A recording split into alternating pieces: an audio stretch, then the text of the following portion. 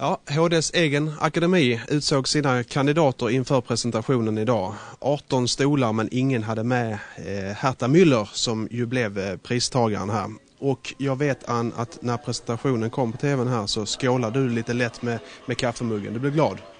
Ja, det var ett bra val tycker jag. Herta Müller är verkligen en författare som förtjänar ett Nobelpris. Varför?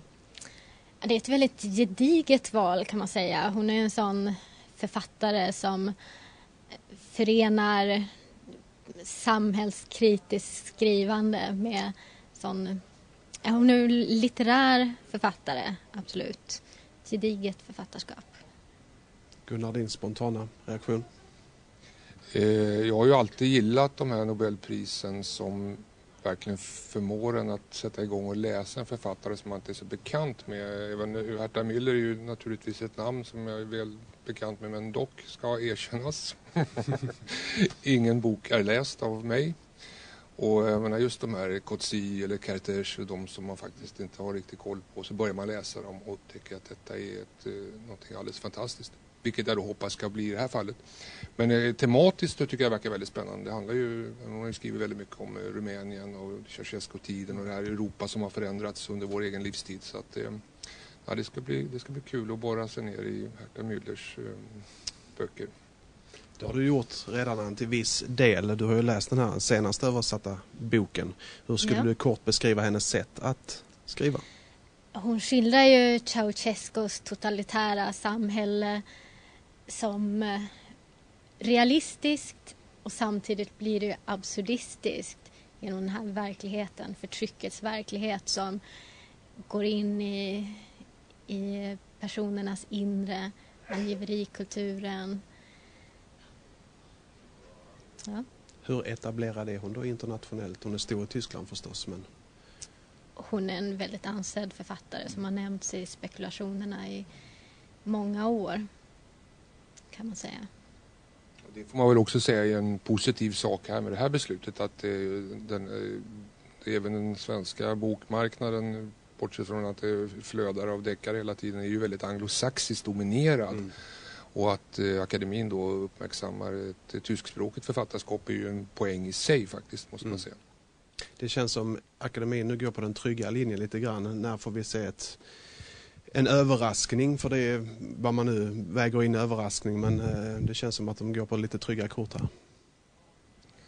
Ja, det brukar ju vara överraskningar vad det än blir. Det här är väl en överraskning just för att det kanske inte var så överraskande. Det är den gedigna linjen.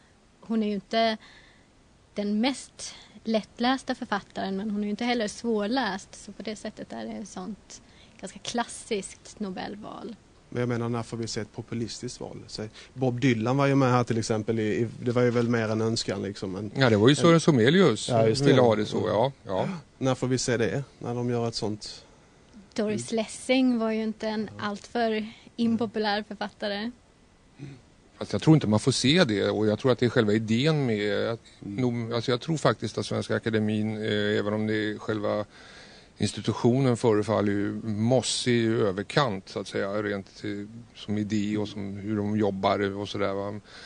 Men, eh, men i, i tankarna kring eh, att eh, så att säga göra den litterära världen lite större för människor som är intresserade av böcker tycker jag förefaller vara väldigt så här, tydlig och därför så tror jag nog att de för det, alltså för det mesta faktiskt går på att försöka skapa ett större utrymme för författare som de verkligen uppskattar och att det kanske är sånt som talar emot sådana här givna klassiska eviga gissningar om Oates som ändå har en världspublik eller Philip Roth eller sådana författare som alla har de, ja, de borde verkligen ha ett Nobelpris men de klarar sig ganska bra ändå så att säga. Va? Medan Herta Müller nu kanske kan få en mycket större publik och det, det, jag tror att det är sånt de väger in men det är ju mina gissningar bara. Tar man någon annan hänsyn? Tradition, ursprung, genus?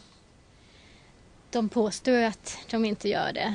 Nu har det ju kommit ganska många kvinnor faktiskt på senare år och det är ju jätteroligt. Så, ja. Hur tror ni att reaktionerna blir bland era kollegor på kulturredaktionerna, bland bloggarna? Jag tror att det här är ett väldigt populärt val bland eh, kulturfolk, absolut. Vem hade ni själva helst velat se?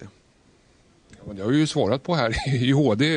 Jag skulle vilja att Dennis Lehane fick priset bara för att jag tyckte att förra årets största läsupplevelse var den där Ett land i gryningen. Det, det, det, jag tyckte det bara var en helt fenomenal bok. Men det strider ju mot vad jag själv har sagt tidigare. Lehane har en stor publik, han är amerikan och så vidare. Va? Och eh, ditt val var väl kanske något mer speciellt? Ja, i tidningen valde jag ju en svensk poet. Sen känner jag mig faktiskt väldigt nöjd med Herta Müller. Nästa år så hoppas jag på den albanska författaren Ismail Kadare. Vi får se.